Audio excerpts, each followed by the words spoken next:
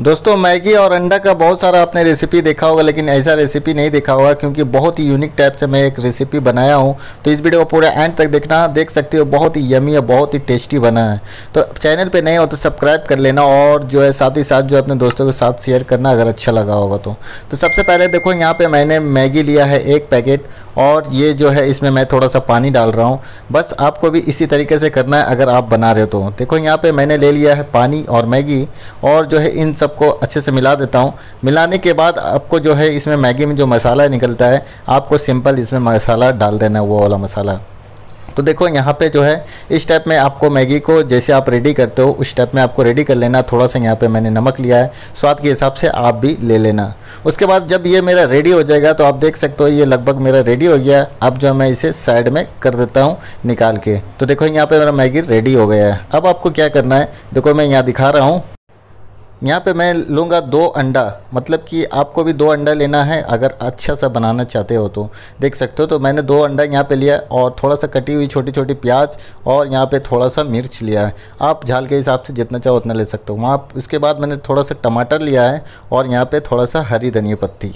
उसके बाद अच्छे से इसे फेंट लेना है। आप चम्मच है आपके पास तो चम्मच से भी फेंट सकते हैं, कोई दिक्कत नहीं है। तो इसे बड़ी अच्छे से फेंटना है। उसके बाद देखो, मेरा यहाँ पे रेडी हो गया है। अब जो मैं यहाँ पे तावा ले लेता हूँ अपना, और यहाँ पे जो है हल्का सा तेल डाल देता हूँ।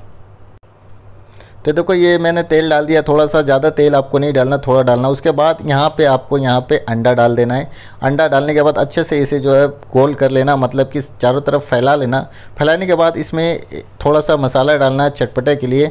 तो यहाँ पर देखो, मैं डाल रहा हूँ थोड़ा सा यहाँ पर हल्का सा नमक, क्योंकि मैंने मिलाने टाइम नमक नहीं डाला था तो ऊपर से डाल रहा हूँ। उसके बाद यहाँ पर थोड़ा सा एक चुटकी जैसा गर्म मसाला और एक चुटकी जैसा जो है आपका जीरा पाउडर डाल रहा हूँ। डाल रहा हूँ। तो यहाँ पे देखो, यहाँ पे हो गया है मेरा और यहाँ पे कुटी हुई मिर्च डाल रहा हूँ क्योंकि थोड़ा सा तीखा होने से बहुत ही टेस्ट लगेगा। तो ये हो गया मसाला मेरा आइटम और उसके ऊपर से आप देखो, आपको यहाँ पे जो मैगी आपने रेडी करके रखा था, उसके ऊपर से इसे मैगी एक तरफ़ बीच में करके डाल देना है। तो सारा मैगी को आपको रख देना है इस तरीके से और रखने के बाद जो है आपको क्या करना है, इसे पलटना है।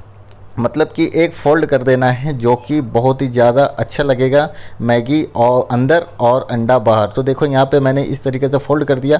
अब फोल्ड करने टाइम थोड़ा टूटेगा तो आप थोड़ा सा ध्यान से उठाना। और देखो, पलटने के बाद यहाँ पे देखो, इस तरीके से आपको दिखेगा। और जो है, यहाँ पर आप पीस पीस करके काट के अगर अपने बच्चों को दोगे, अगर मैगी के तो फेवरेट रहते ही ये बच्चे, लेकिन अगर अंडा और मैगी इस तरीके से दोगे तो बहुत ही ज़्यादा टेस्टी और बहुत ही ज़्यादा यमी होता है।